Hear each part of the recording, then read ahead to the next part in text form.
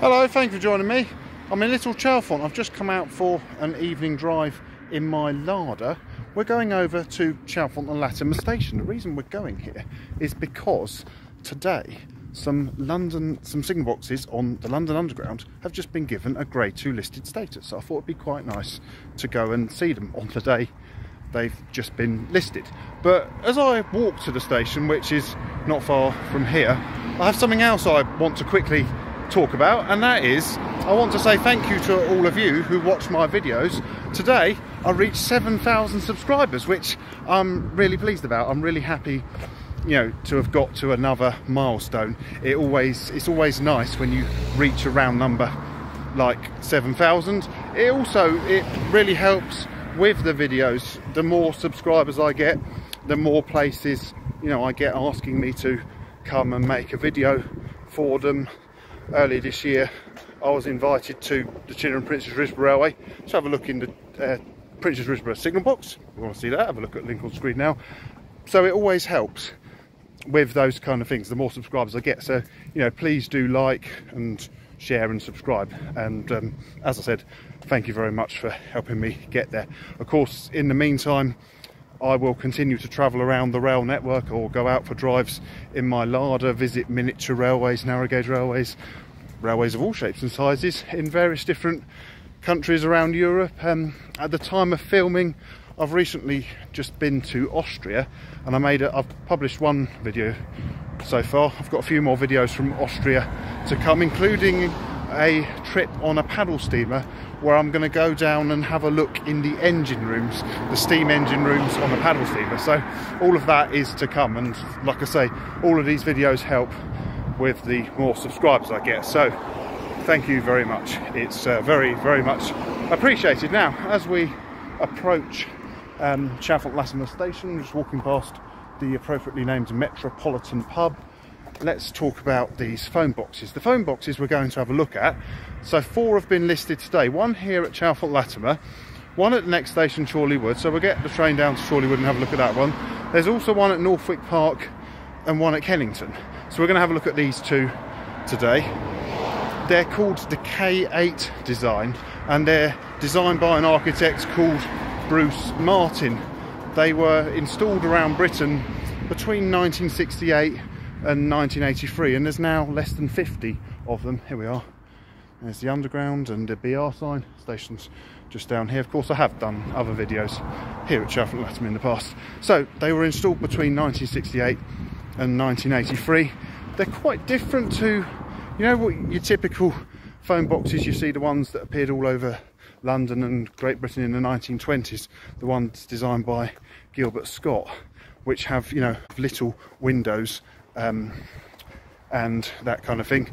They're not they're not quite like that. Um, they they have one big window, and I think they might be made out of fiberglass, but we'll have a look when we get to one. So as we approach the back entrance of the station, which doesn't have ticket barriers, we can see the phone box we've just come to look at. There it is. Funny it says ticket holders only. I mean, I will because we're going to catch the train, I'm going to use the contactless.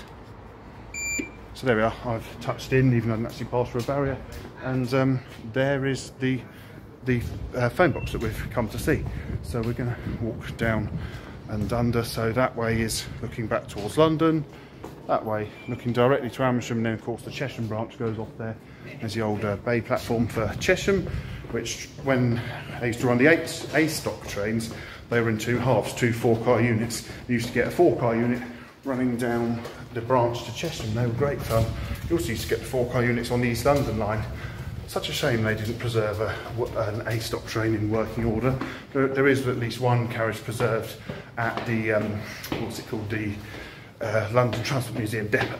But I don't think we'll ever see an A stock train through here again. So that's the Chesham Bay over there. Um, is that a train coming now? There's a train coming out of London, an S-stock train. It is actually strike day today, so there's not expecting to see any Chiltern Railways trains today. Anyway, here is this phone box. Look at that. Telephone. So as you can see, very different from the ones we used to look. One huge window on the door and window each side. Let's go inside. And um, it's, it's more cramped as the train pulls in. It's more cramped than um, your typical phone box. It says railway automatic phone.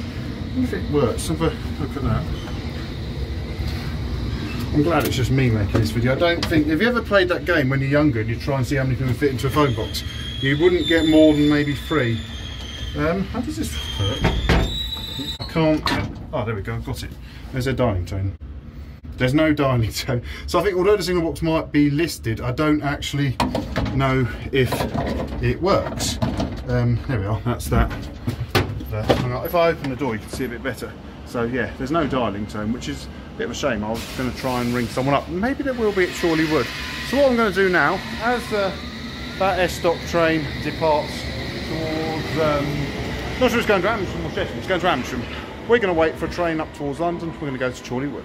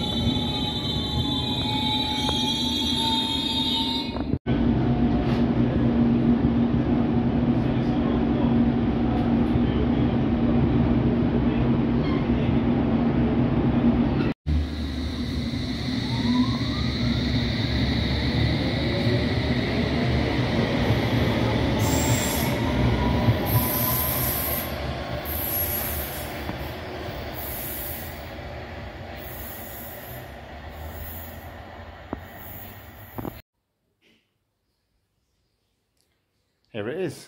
This is the what's at Chorleywood. One at Chalfont Latimer was painted maroon. This one's painted blue. Now, unfortunately, we can't go inside this one. It's locked. Need a T key to get inside.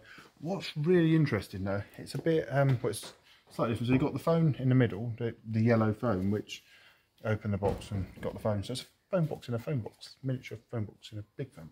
Anyway, what's really, really fascinating, and it's going to be hard to show on camera. See, see this here? This has a list of all the other stations and all the numbers, like it says platform, ticket office, etc. So from here, I, I get the impression that I'm not sure if they were for public. Maybe someone watching can tell me. I don't actually know if these were, they certainly aren't now for the public to use. I mean, everyone has a mobile these days. But it seems that staff could ring any of these stations. I mean, say if uh, somebody had an elderly person and they had a lot of luggage and they were dropped off by their grandchildren here, they might be being met by their son or daughter at the other end. Inferior member staff could ring ahead to the station they're going to and um, you know say that they're coming. Like a bit like today, you can book assisted travel. when quite often elderly people who are travelling sort of long distance journeys, especially with luggage on the national network, do book travel. You get a better look actually here. Look, and it actually says private, so yeah, I don't think I'm allowed in there, but we can we can have a look at it from here. And um, as I said, there's there's a list on this side of um, all, all, the phone numbers. I did notice after filming the last bit of last while waiting for the train, it said station to station phone box but it's um, really quite fascinating. A different form of iconic design. We're so used to the, um, like I say, the, the, Giles Gilbert Scott ones. I think it's really nice that something from the 1960s has been listed because I do think, sadly, a lot of iconic structures from the 1960s have been lost. I mean, on a completely different scale. Um, in Portsmouth, the Tricorn Centre was a 1960s building that was demolished, which I'm really sad about because I thought it was a fantastic building. We can't go in the signal box Let's go in the waiting room. We can go in here and look at this. This feels very much um, of a different era. Um, I suppose seeing the face coverings means that if you're watching this video in 100 years time and I'd forgotten to put a date or something, you'll know it's after 2020 because um, but no one really wears face coverings anymore. One of the mazes, which um, well, they've been around for at least 10 years, they started appearing on London Underground. And the other nice thing is they still have a timetable. So this is Chorleywood southbound trains, some of them of course Chiltern Railways trains.